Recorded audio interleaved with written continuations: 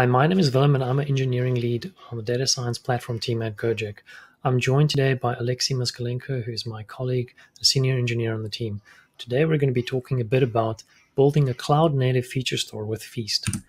Today on the agenda, we're going to talk a bit about the data challenges that teams face when operationalizing machine learning. We're going to talk a bit about how Feast can help you with those challenges, what Feast is and what Feast is not. We're going to have a quick demo on Feast then we're going to talk about the project itself, where it's been and where it's going. And we have three big announcements that we're going to make, and I'm hoping you can stick around for those. So, how does data science work at most teams today? Um, these projects are typically started because you want to target some kind of business outcome, some kind of metric that you want to push up. And a data scientist is often tasked with building the first model or the first proof of concept for this. So they're given data and they're asked to you know, build this model and see if it's actually viable. And so often the basis of the project, the, you know, the inception is the notebook. This is a linear end-to-end flow that a data scientist comes up with, and you evolve that notebook into an end-to-end machine learning system. And so you have something that resembles what, what we have on the screen now. Um, on the left, you have your data sources, and then you have transformations, let's say batch transformations. You have model training, you have model deployment, you have model serving, one end to end flow. And this often represents and resembles the notebook that's it's being evolved from. And the final product there is a model that's integrated with the production system. And this works. And most teams can get to this point by just hacking together open source or proprietary solutions products. Uh, at some point, somebody will say we need real-time features and real-time data, and I'll hook up a stream. At some point, somebody will say we need more distributed compute, so they'll hook up Spark. But ultimately, you're left with an end-to-end system, one monolith. But these monoliths come with some costs, sometimes very big costs. One of the first problems is that they're very slow to iterate on. If you have one team that needs to work on feature engineering, another needs to iterate on modeling, another that iterates on know, online serving and the production requirements, they all want to iterate at different frequencies and paces and you know they're different teams sitting in different places but they have to work in unison because it's one monolithic system and this slows them down the second problem is that features often need to be redeveloped when going from training to serving. This is often because features are written in Python and they, you know, they're not performant enough and they need to be written in Java or Go. And there's all these reasons, but inconsistencies arrive when engineers and data scientists need to work together to produce one final output, one product. The third problem is that because of this, these uh, you know rewrites and changes from one environment to the next, often you have training and serving inconsistencies in the data, and this can lead to a performance drop in your models. The fourth problem is that data quality problems arise when you, you don't know that uh, you don't have the proper monitoring in place, you don't have the proper metrics in place, you don't have validation of your data. Um, basically, the tools that are available today are not meant to measure data, uh, but at the same time, this data is affecting the business outcomes. Um, the prediction, the data that's going into the models uh, affect the predictions that are made, and those affect the outcome and the decisions that you make. And so finally, one of the biggest problems that we found at you know at Gojek and many of the other teams have also told us is that there's just a gross lack of reuse of features, and yet feature engineering is one of the biggest costs that teams need to incur. And so these are kind of the five big problems that that we've seen ML teams fa- are faced with when it comes to operationalizing data. So we believe that a need exists for a battle-tested open source feature store to address these problems that we've highlighted. And we think Feast is that feature store. So Feast is a system that attempts to solve the key data challenges with production machine learning. So if we go back to that diagram I showed you earlier, typically what you'd have on the left is, you know, you'd have your data, you'd have your transformations, and then you'd have your model training, deployment, serving. This end-to-end flow would be duplicated for each project that you undertake. You'd not have reuse or very little reuse across projects. So how does Feast help with this kind of monolithic end-to-end architecture? Feast decouples this completely.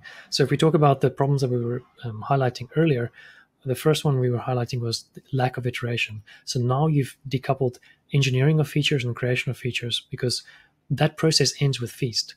That's one team that can be engineers, data scientists. Then you have another team that's just purely iterating on model training. They're selecting features from Feast, training a model, and shipping it to a registry. Then you have a third team. This can be a production team, engineers perhaps. They're shipping models into production. They're hooking those up into, um, you know, connecting them to real-time production systems. And you know they're looking up online features at low latency and they can do this confidently and at scale and with monitoring and instrumentation that it requires. And all three teams can iterate independently. And so this both solves iteration speed and also solves reuse because teams can now independently use each other's artifacts whether models or features in this, in this architecture so what does Feast provide? Feast provides a central, central registry. This registry is a catalog through which you can define your features and reuse them and collaborate on those across teams and across projects. Feast also does ingestion. So it has jobs that it provisions that loads data in from upstream sources, whether streaming or batch, into the stores in order for the third point, which is serving. Feast provides a point in time correct, a temporarily correct uh, serving layer that allows you to look up data at scale for training a model, and it'll handle the joins and everything you need. And it also allows you to do online lookups, so low latency lookups for for predictions in the online case. It also provides you the monitoring tools to operate your system at scale in production the, end-to-end flow um, is represented on the screen. So on the left, you have your data. So these can just be notebooks, data lakes, data warehouse. It doesn't really matter. You push your data into Feast, and this is done through the triggering of an ingestion job, and that job is a Spark job. And this job will write your data into the stores. So in this case, consistent copy of the data that you're ingesting into online and offline stores and the definitions of the features and the data that you're ingesting is handled by core. So Feast core is that central registry. And then once you've ingested your data into the storage layer, it's then available for all teams to use. So if you know one team wants to try out a feature that has been published and ingested into Feast, they can simply query it out of the Feast serving layer and then train a model. And so Feast for training uses an SDK, and for online serving it uses a low latency API. So what is Feast not? Feast is not a workflow scheduler. It's not like Luigi or Airflow. It doesn't do scheduling.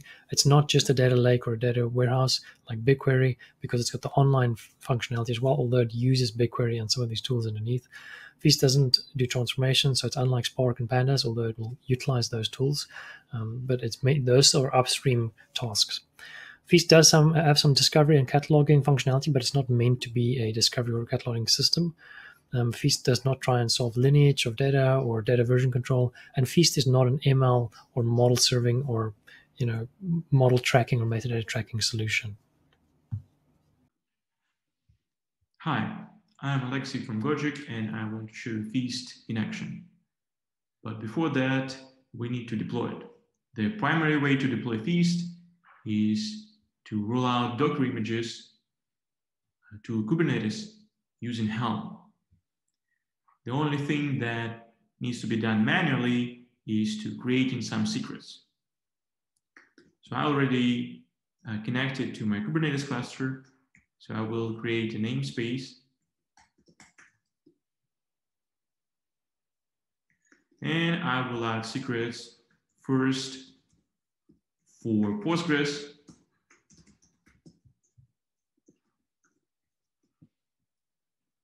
You can see that I specify just uh, a Postgres password here.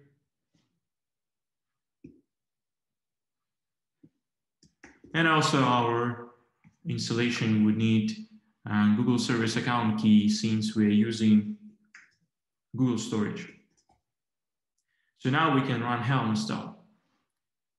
So after you clone Feast repository,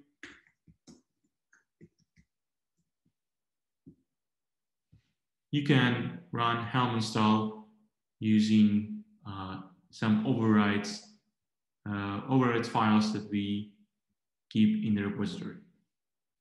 It takes some time to start all the containers, but when all pods are running, we can now connect to the Jupyter notebook.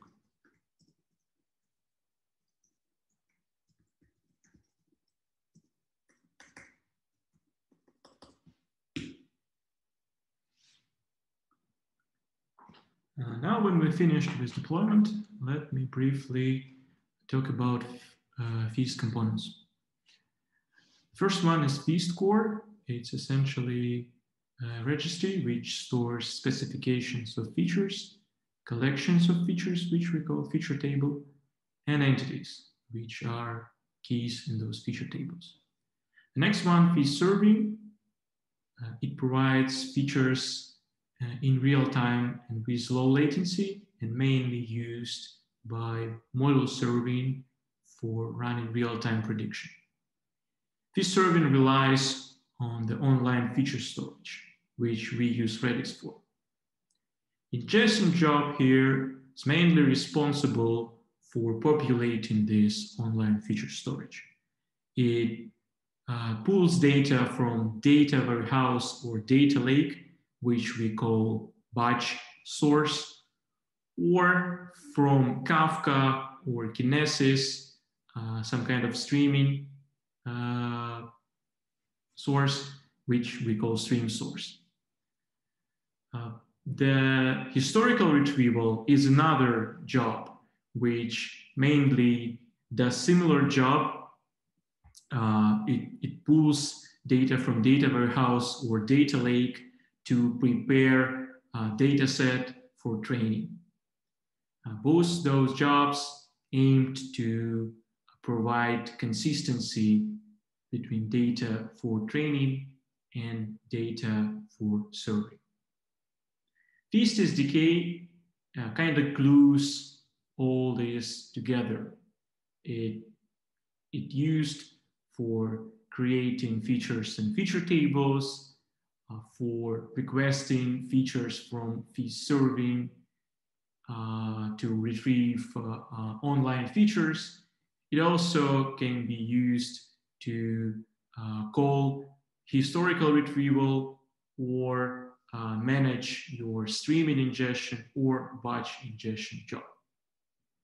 In this demo, I want to demonstrate how to use basic functionality of Feast. I will register uh, features in Feast core. I will show you how to uh, retrieve uh, historical dataset for training, and of course, how to use uh, Feast serving to retrieve online features. Uh, also, we will cover uh, how to ingest data from batch and streaming source into our online feature storage. First, we need to instantiate Feast client. It's essentially an entry point to all functions that provided by Feast SDK. So we will configure it by uh, both parameters to the, the Feast client constructor and environment variables.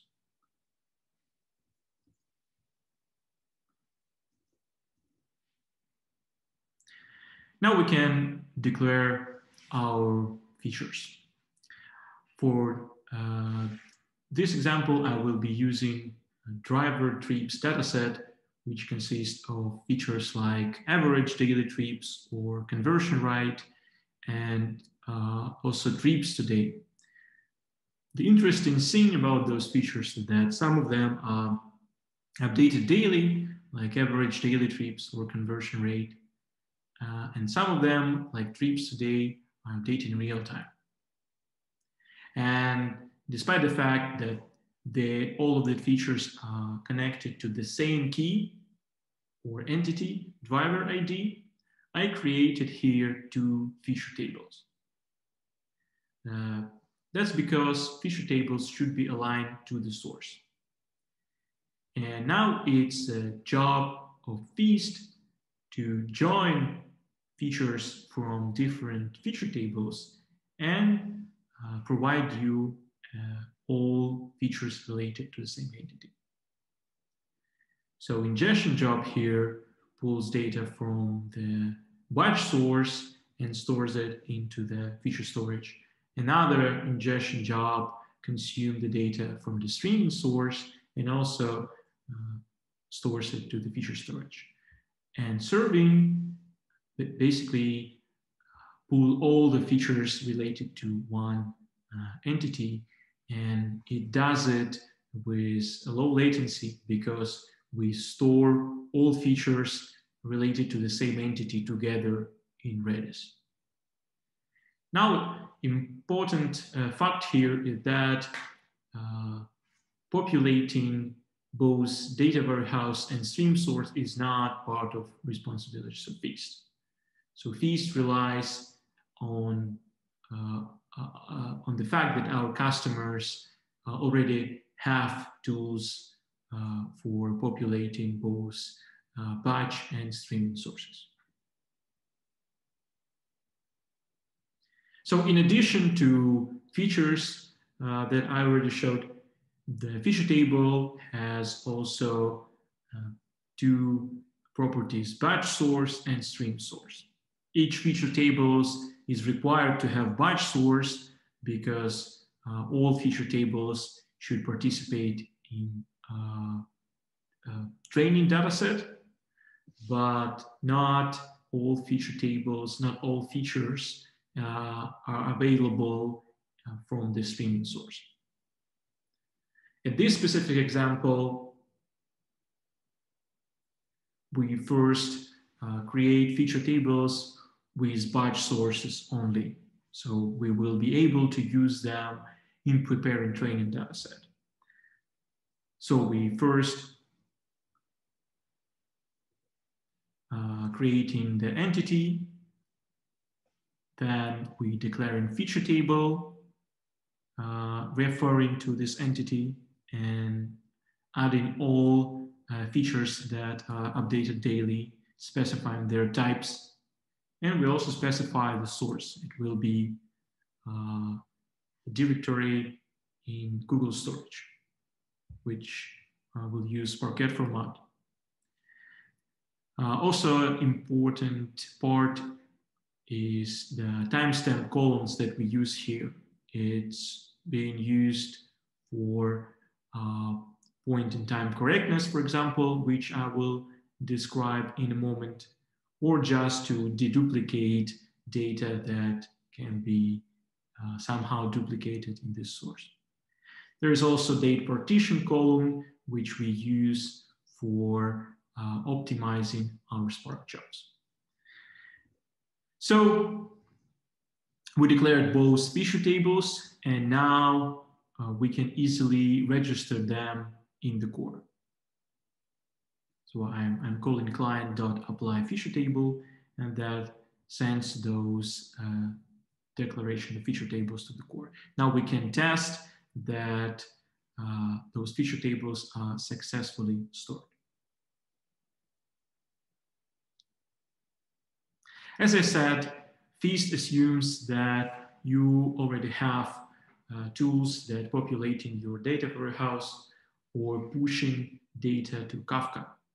But for the sake of uh, this demo, I need to put some data into those uh, Google storage uh, buckets. So I will just generate uh, several data frames. And with this helper function, I will store them on the Google Storage. As you can see, data has been successfully ingested into feature table batch source. We can check it by just retrieving what's in the Google storage. You can see there are a bunch of Parquet files and uh, it used date column as the partitioning column.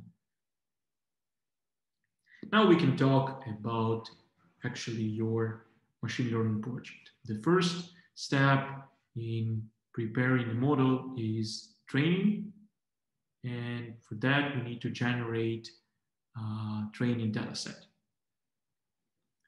important part about uh, generating dataset for training is point in time correctness. As you can see on this graph, uh, when we are making a prediction, we use feature values with various timestamps. So as you can see, those features probably from different sources uh, came in different times.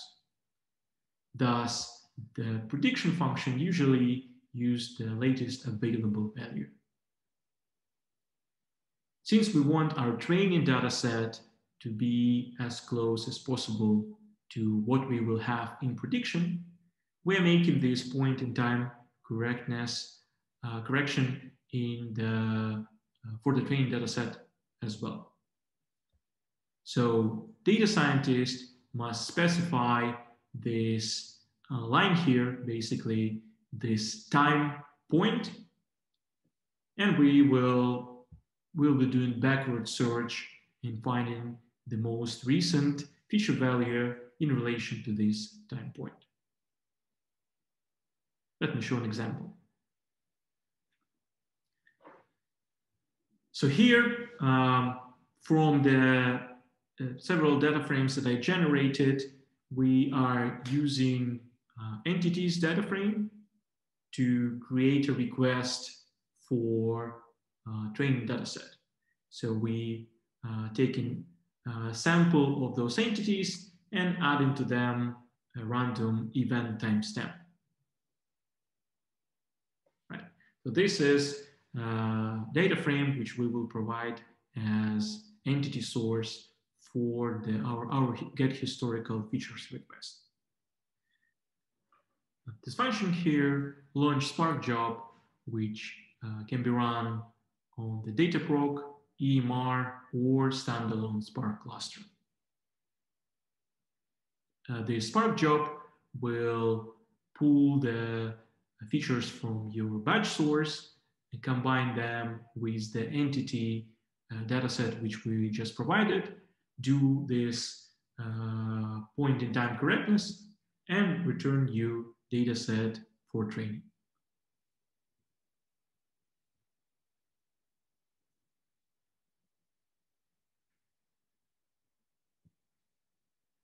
As you can see, features from uh, two feature tables were combined on this resulting uh, dataset.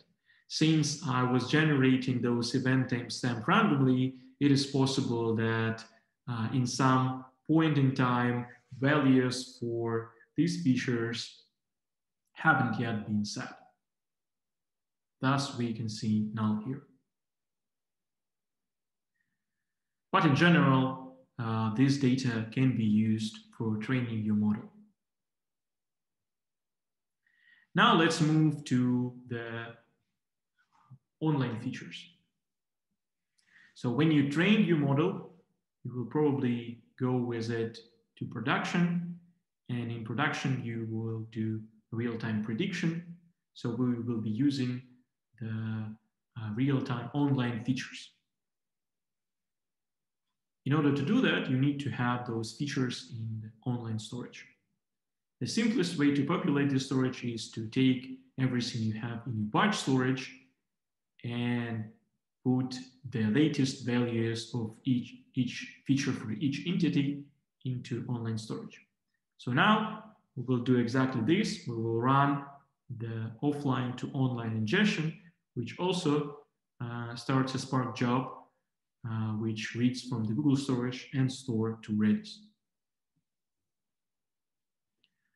When this job is completed, we can again generate some sample of entities and make a request to the online serving to retrieve features on those entities.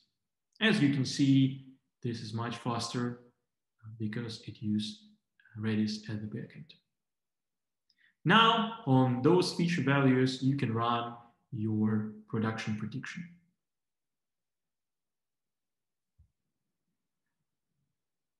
As the next step, we can also add uh, another features uh, to our production prediction, uh, namely the real-time features.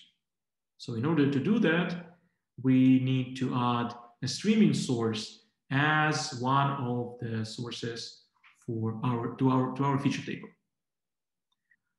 With, with this streaming source, we need to specify also Bootstrap server and topic since uh, we're using Kafka source and also, uh, we need to specify message format, which in this example is Avro format. And of course, we need Avro schema so the ingestion job would know how to decode uh, records coming from Kafka topic. So this Avro schema in this example consists of feature trips today and entity driver ID, and event column called data type. Now that we updated feature table in core, we can start our ingestion job.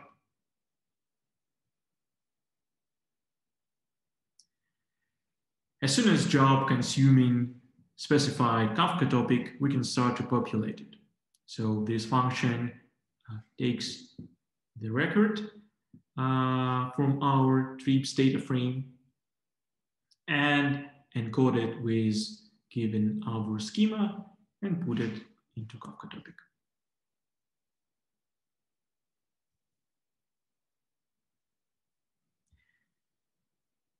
Now we should be able to retrieve those features with our get online feature method. So we generate an entity sample again and doing request.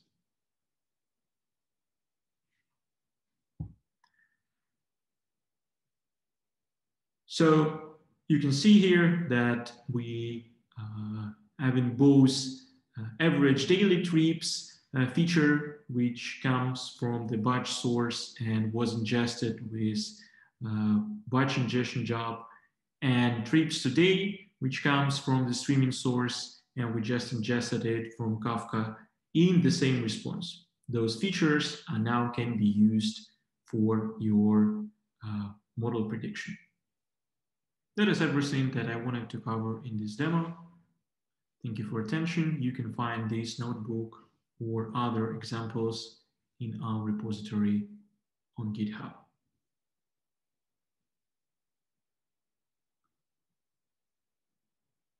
Three years ago, Uber introduced the concept of a feature store through their blog post on Michelangelo, their machine learning platform. Since then, many companies have built their own feature stores, like Feast from Gojek, Airbnb's Zipline, and many others. Teams large and small are starting to realize how critical a feature store is in the ML stack of the future. Where is Feast now? Well, we released 0.1 late 2018. We rolled it out in Gojek and we've gone from strength to strength. From 0.2 onwards, we've been working with our community. We developed decentralized serving, we developed point-in-time correctness. We added project isolation and isolation and namespacing. We simplified concept and added integration points. We integrated with TFX and TFDV. We allowed for multiple VPC support and request response logging and um, monitoring and metrics in production. And recently, we've added Amazon support and Spark support with the help of teams like Tecton. So, who are our big adopters and contributors?